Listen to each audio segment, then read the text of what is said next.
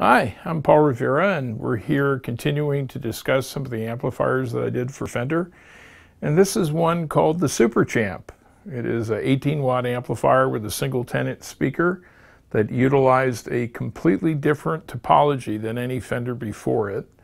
And it was my desire to create the ultimate pocket rocket, which is a, just a high gain, super screaming, small little amp that you could sit on a stool do a gig, record a session, whatever it was, take it in your suitcase and fly do a fly date with it. And we succeeded. This has become quite a legend, this Super Champ. I own two of them. I own one of the first prototypes is with a four tube preamp, as well as a production version here. I found this one at a local dealer. It was in perfect condition and I had to snag it.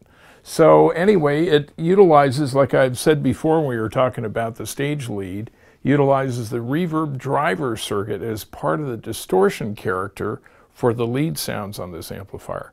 Uses two 6v6 output tubes. 6v6s are some of my favorite output tubes, and the reason being is they sound very close to EL84s or 6BQ5s, except they're a lot more reliable. Great distortion tone, super warm, fat, and so this amplifier does it all.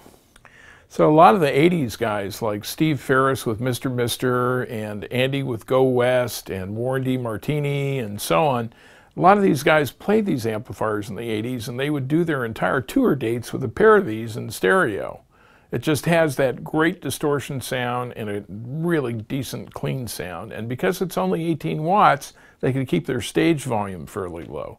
It also became a hit in the recording studios because it got such a classic tone for such a small size, easy to mic, and so on. Some of these features of this amplifier, of course, like I've said before, came about from my modifying fenders for the session guys in Los Angeles.